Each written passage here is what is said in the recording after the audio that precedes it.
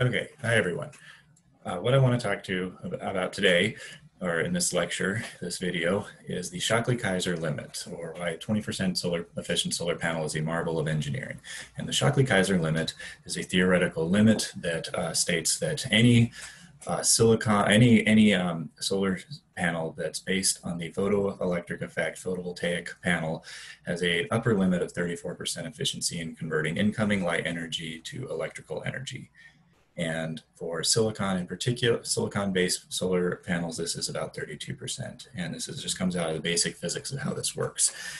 And so commercial panels are typically on the order of 15 to 20% efficient. So they're already quite near the theoretical limit. They're already quite amazing in how efficient they are. And so what I can will show in a different lecture is how this already is more than sufficient to scale up solar to uh, any of society's requirements, any household requirements. And so these panels are already great and there's no reason to um, hold out for more efficient panels. Um, and now we're gonna to try to understand the underlying physics of this today. So Shockley-Queisser limit again. So as I said, it's any photovoltaic panel is limited to about 34%. And for silicon PV, which is 99% of panels, this is limited about 32%. And this comes out of a paper, a work from 1961 by the eponymous authors who looked at, who just used the basic physics um, of the system. That's what we're gonna go over today. And since then there, you know, there are some updates, but the basic ideas hold. And so if we want to understand this, we need to understand how photovoltaics work in general, how they work fundamentally. And they're based on the photoelectric effect in NP semiconductors. And Einstein got his 1921 Nobel Prize for, quote, his services to theoretical physics and especially for his discovery of the law of the photoelectric effect. So that's why he got the Nobel Prize, actually. And the photoelectric effect, which is what solar panels are based on, well, it's also the kind of the basis of LED lighting, interestingly enough. So solar panels basically take incoming solar light and they convert it into electricity. Uh, LEDs take incoming electricity and they convert it into light. So these are both based on the same uh, NP semiconductors and they both use uh, operate have the same physics are at work. Okay, so let's understand NP semiconductors first. We need and and the photoelectric effect. These are coupled, but first we need to recall some basic chemistry here. Okay, so we're going to go to our periodic table of elements, and we're going to see on this periodic table. You know, this is a big table, but there are two elements or a few elements in particular that they're interested in. We're interested in carbon, we're interested in silicon, and then we're also going to be interested in phosphorus and boron here. Now, let's zoom a little bit. Carbon. Carbon is the sixth element. It is the basis of all life, carbon-based life. And so for carbon-based life, well, you're here, you're element six. And what this, what you have is you have something called, you have basically these orbitals, these orbitals of electrons, electrons around the nucleus of the atom. And carbon happens to have four of these. And to get a quote full valence, you have to come over here, seven, eight, nine, 10, here to get 10 electrons. So this is telling you how many electrons there are. And so if you want a full valence of electrons, you need to add four electrons to get carbon all the way over here. And basically elements want a full valence. And so because you can share valence electrons with other nucleus, other atoms, you can create carbon lattices, you can create hydrocarbon chains. You can do this in very complicated ways. This is why you can have life because you can create all these very complicated organic molecules that are based on carbon. Silicon, which is down a layer in the in the table, silicon here, well, it also has uh, basically wants to get a full valence. And so silicon can also form complicated lattice structures. And so that where that's kind of where the sci-fi trope of silicon-based life comes from is these two elements have similar chemistry. Carbon you can do a lot more with, but silicon you can also do similar things because of this chemistry. So silicon atoms, as I just said, they have these four valence electrons, just like carbon. They want for they want a full valence. And so as I said, you can share electrons with other atoms through what are called covalent bonds. Um, and basically you come up with a crystal lattice. You have all these, all these nuclei for the silicon and they're sharing their atoms in these, you know, in these covalent bonds. And so now they all have eight, all have eight valence electrons and everyone's happy. It's a happy lattice of silicon. So the photoelectric effect, well, what is this? What this means is that light comes in light comes in and it basically disrupts these bonds. And so you have, you leave this light strikes the electron and it and it frees it essentially. So you have a free electron, which is negatively charged. Electrons are negatively charged. Remember, nuclei are positively charged. And now you have a hole, which is relative, which is positively charged, where that electron was, and your free electron. That's all the photoelectric effect is, you know, at the basis. So if you shine light on a crystal, excuse me, a silicon crystal lattice, well, you're going to get a bunch of free electrons that are negatively charged and leaving a bunch of holes that are positively charged. And these holes and electrons can freely migrate throughout this lattice, but they're just kind of doing this randomly and you're not generating any useful current. Remember, current is the movement of charge. It allows you to do, if you can control this, you can do useful work. You can generate you know, electricity. Um, if you just have silicon crystal, you, you know, nothing, nothing useful happens. So how do you get a useful current? How do you get a solar panel? that's workable, that's usable? Well, you have to introduce impurities into the silicon matrix to create this permanent charge separation. This is the NP semiconductor idea. And so on the N side here, you're going to have a permanent positive charge, and on the P side, you're going to have a permanent negative charge. And with that charge separation, well, then those negatively charged electrons can now flow between you know, flow directionally and then they can flow across this eternal external load and then you can actually harvest useful work from this. So how do we create this charge separation? Well, we create these impurities or we're called dopants. And again, this comes out of our, our periodic table. So again, we have carbon here. It has four valence electrons. Well, to the left, there's boron. It only has three valence electrons. And so this is a p-type dopant. Boron has these three valence electrons, so if you put it in the lattice, it just doesn't have an electron here to share with its neighbor. So you're going to have holes. You have these holes, and this is electrically neutral at this stage, but you're going to have these holes. Now, on the other side, you have, well, you know, here was carbon, here was boron. Well, same thing, silicon has four valence electrons. You go to the right, now you have five. And now you have an extra unpaired electron. So you have this extra unpaired electron and it can be easily freed. So this can leave a positive nucleus and a negatively charged free electron. So you can create holes in free electrons that are you know, essentially permanent um, by adding these dopants into the silicon. So again, so what we do, so this, the N-type silicon is where we have our phosphorus. So our phosphorus, we have a free electron we have you know an extra electron so this one frees and he he wanders off. He wanders off leaving a positive charge. Well there's a hole here. There's a hole that he can find over here on the p-type silicon. So now he joins up fills the hole and now you have a negative charge over here. So now you've created this permanent charge separation this permanent electrical voltage difference if you like. So now we've done this, we've introduced these impurities with dopants, we have this charge separation.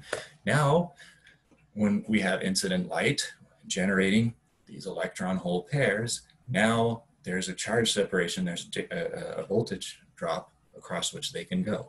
So we get these electrons, negatively charged hole pairs, and now, because of this charge separation, the electrons flow this way. They flow here, and if we attach with some wires an external load here, well, the electrons flow this way. Now they can flow across and come back. And so now we get this useful current. So great. Now we can do current. This is an like this is a silicon solar cell. This is all it is. So how efficient is this process? I said light comes in, it creates this useful current now, well, how, what percentage of that light en energy can actually be converted into a useful current? Well, there are three fundamental mechanisms that limit how much energy we can harvest. And the most important and the one, only one I'm really going to talk about is this idea of spectrum losses. So what's this idea here? Well, first we need to understand that when you, when you, when the incoming photon hits the electron, frees it, moves it in what's called the conduction band, this only take this takes a very specific amount of energy, no more, no less. And so we can use electron volts as our unit of energy, and we need exactly 1.1 electron volts to excite this electron if we're using silicon. This varies for different materials. And this energy requirement is called the band gap energy. In other words, it's the energy we need to move it into the conduction band. And so that incident photon comes in. If the photon is less energetic, if it doesn't have 1.1 electron volts, there's no excitation. So nothing happens. You lose 100% of that energy. It's exactly 1.1 electron volts of energy. Well, we get a free electron and no wasted energy. If it's above 1.1 electron volts, well, we again we get this excitation, so great. But any extra energy is also lost. You know, we didn't get any extra bang for our buck. So now, knowing this, well, now we need to know what the spectrum, or, or relate this to the spectrum of the sun, because the sun has a spectrum, and different photons have different amounts of energies coming in. They don't have all the same amount. And so remember, photon energy from physics is proportional, that's what this symbol means if you don't know, one over the wavelength. In other words, it's proportional to the frequency and the frequency is one over the wavelength. So the shorter the wavelength, the more energy you have. And we can look at this graphically, so don't worry about that uh, too much. Just think of it graphically here. So what we have here is the solar spectrum. So this is maybe a little bit busy, but this black line here, this, this second black line, is the spectrum of the energy that's actually hitting the Earth's surface. And so, and this is the wavelength here on the x-axis. And so here's the visible band. This is where most of the sun's energy is. And that's not surprising, right? We see in the visible band, it makes sense that we see where most of the energy is. And so there's some energy here in the ultraviolet and there's some here in the infrared and so on. That's not energetic enough for us to perceive as visible light. Um, but this is the spectrum. And remember, the longer the wavelength, the less energy. The shorter the wavelength, the more energy. And at some point, we're going to hit that magic number of 1.1 electron volts. And we can see where that is. We can see where that is, and we from from just our basic equations. So again, we don't need to worry too much about the about the math, but we know that the energy in a photon, this is the Planck-Einstein relation, is equal to Planck's constant times the speed of light divided by the wavelength. And so what we can say here is that as you go along, you know, this is not necessarily to scale. This is just a, this, excuse me, this, this inscribed uh, uh, spectrum is not to scale. It's just to help you visualize this. So what we can see is that for a short wavelength, more photon energy. That's what this blue line is. So blue line is photon energy, short wavelength, more energy. Wavelength gets longer, less and less energy.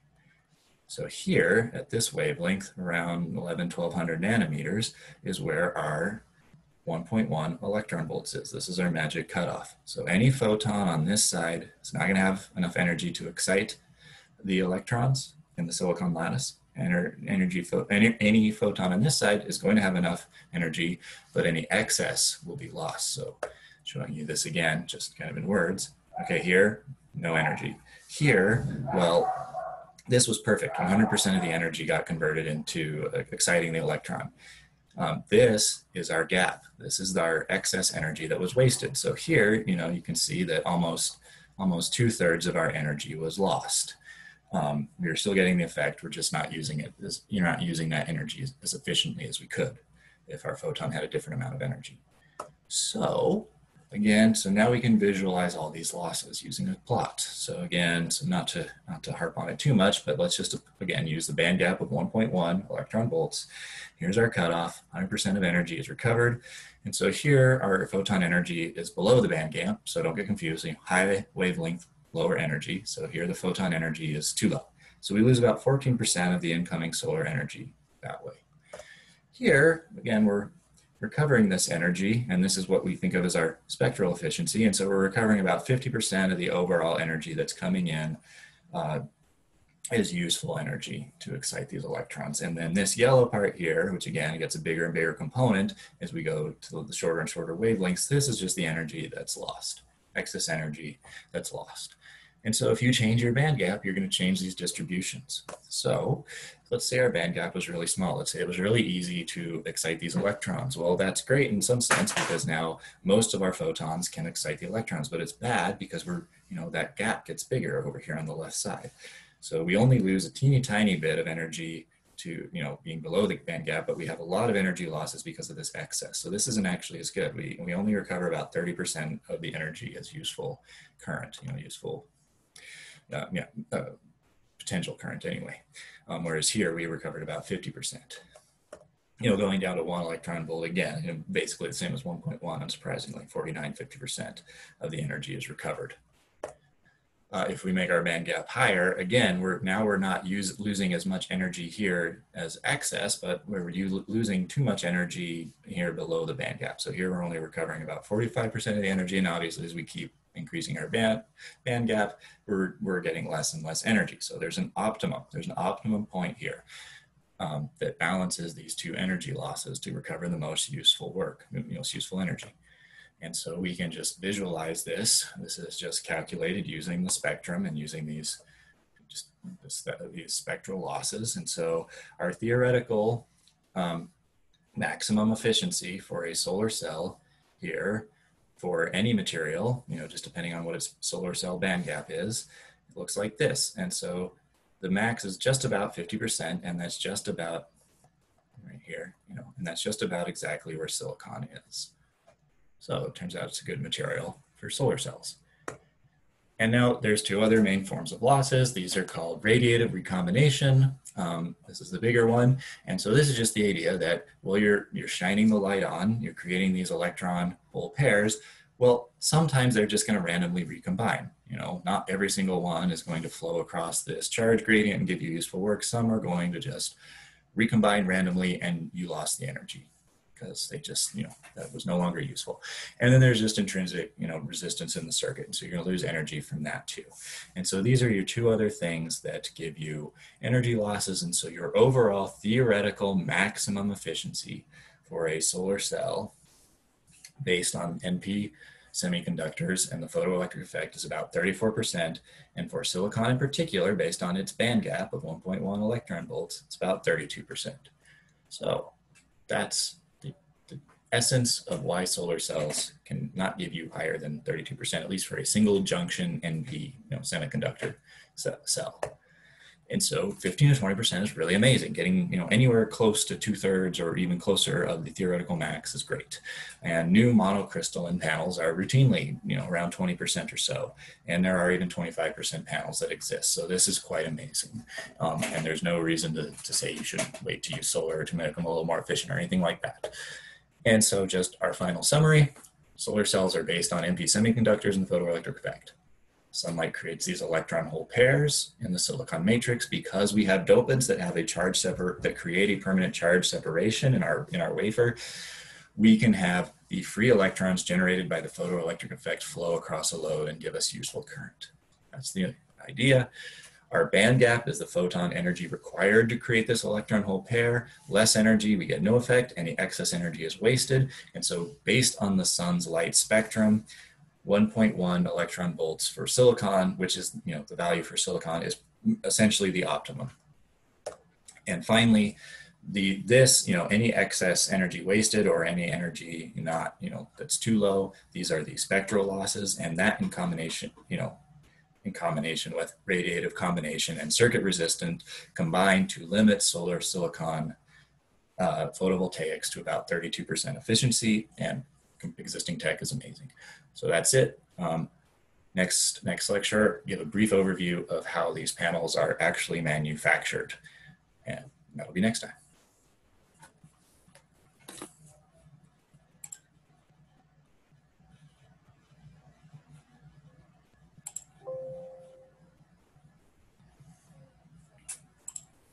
Trying to stop recording. I'll edit this off.